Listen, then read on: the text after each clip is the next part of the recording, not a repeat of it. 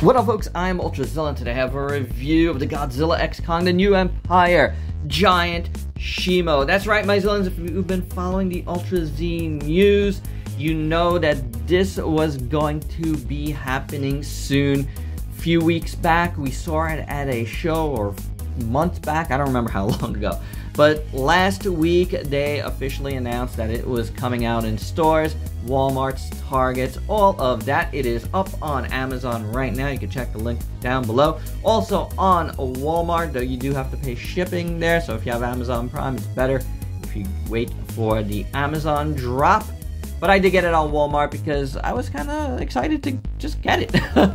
you know what I'm saying? Um, so, you know, with the videos dropping on digital right now, with the movie dropping on digital right now, I figured it's a good time to uh, get uh, another Godzilla X Kong figure here from a Playmates Toys, and it is the giant Shimo. Now, I know some folks are really excited about this to possibly go with some of the smaller figures because as we now know, Giant Shimo is pretty fitting because he is a giant character, but will it actually scale? Let's do the review and find out. And here's Giant Shimo out of the package, and it's pretty cool, and to my surprise, it's actually different than uh, the smaller ones. I thought it was going to be just upsized, you know, when I first got it. It looked just like an upsized version, but there is differences. But before we get to that, let's uh, look at the articulation, which is very similar. The mouth opens, though not as far as the other one. Um, then you have a nice ball joint at the neck, which is pretty good. The arms do go outwards like so, go back and forth. You do have uh, swivels at the ankles, on the back legs too. These just go back and forth and then the tail is on a ball joint. So articulation-wise, it is the same as the small one. But here's the small one with it. And uh, first off, on any of the giant figures, you always get the screw holes. It is what it is. Um, it's ugly. You see the screws, can't do nothing about it. It's just how they build these things. Materials are very different though throughout. This one, a little more hollow. But as you can see, a lot more sculpt on Shimo here, less sculpt there. The head, though, is definitely, I think uh, it's different. I don't know which is more or less. This one looks like it has more little spikies than this. It does.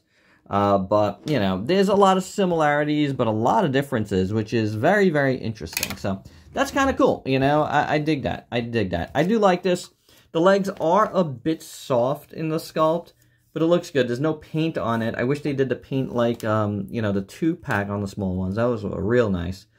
But it looks good enough, the arms. Then you got, again, all the screw holes. But all of this sculpt is very nicely done. Here's a better side of that. So really nice sculpt on the body. Um, the feet are good. It's got a lot of little scooties and stuff. So pretty cool looking. The back legs look better. The tail looks pretty good. Again, you know, like the other figures in the line, they have translucent parts for the dorsal fins, but then when you get to the tail, it's just painted. It's fine. It looks pretty good, though, this one. I, I do like it. It's a big old tail. Sculpt is real nice. The purple looks good. Bottom is not purple, except uh, at the tip here, which is a really cool tip. Uh, but it looks good enough. And then the dorsal fins are really, really nice and the translucent uh, purple plastic. It is kind of a soft plastic, but it looks good. Looks really, really nice. Looks like candy. Looks like Jolly Ranchers. Uh, you got more spikes back here on the neck, which is very nicely done. Now, that's very different from the small one. The small one just has white, uh, you know, just sculpted in. This is translucent. Uh, and then, uh, you know, these over here look really good. The rest of his head looks really nice. I do not mind the less little spikes here. I think it just looks pretty good. And then uh, the eyes are just done in those little blue little things. He's got more of a tongue than the other one does, which is nice. And then you got yellow teeth, which looks pretty good. And this is what this side looks like. I did see a little scuff mark right on the brow there. Might be poop. I don't know what it is. Um, but, you know, overall, I think this is a, a decent giant Shimo for sure. Uh, I don't mind it. So, yeah, not bad at all. But I think some folks are going to want to see this guy here. And here is a giant Shimo with Scar King and Kong, and oh, he's too big. he's definitely too big, guys. Like, I know you, uh, some folks really wanted this, but I think it's too big. Um, yeah. However, the one that was sitting over here was the Battle Roar one, and I do think that one works a lot better. That is uh, way, way better in my opinion uh, as far as scaling goes. So, you know, you can have him seated there if you so desire. But I don't know. Maybe he looks too big on there too. I, uh, you guys let me know down below. We're gonna we're gonna show you how this one looks as well. So we'll see if this one looks better as this horsey or not. Ah, man, that's that's that looks pretty good. I gotta say that looks pretty decent. He's big. He's too big, but um, I don't know. I, I think you could get away with it, you know? I, I, I don't know. I, I, I could go either way. I do think the Battle um, Roar one is probably better scaled, but I don't mind how the smaller one looks on his shoulders either. And here are giant figures all together, and yeah, scaling is uh, much more off here than uh, with the smaller figures, I must say, because all these guys are very big. And uh, Shimo should be bigger. Let's see how it looks all uh, when he stands up. If he can stand this one. Let's see.